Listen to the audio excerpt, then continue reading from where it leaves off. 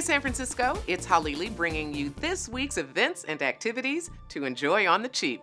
This is the Weekly Buzz. Hot under the collar? Had it up to here?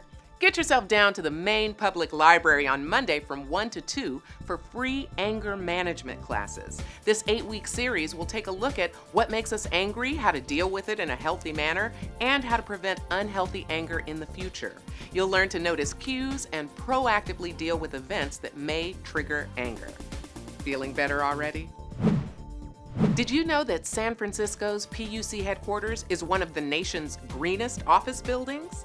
Enjoy a guided tour of this state of the art, 13 story, 277,500 square foot building designed and built to meet LEED Platinum standards. With features like on site use of recycled wastewater, solar panels, and rainwater harvesting, the building exemplifies sustainable design and fiscal responsibility. The tour is Wednesday from 2 to 3 and free with sign up. Join Healthy Parks, Healthy People for a walkthrough of McLaren Park on Saturday at 10. The morning starts with light stretching, followed by a guided walk through groves of redwoods and cypress trees in San Francisco's second largest park. The walk is moderately strenuous, but you'll be handsomely rewarded with a breathtaking view of our amazing city.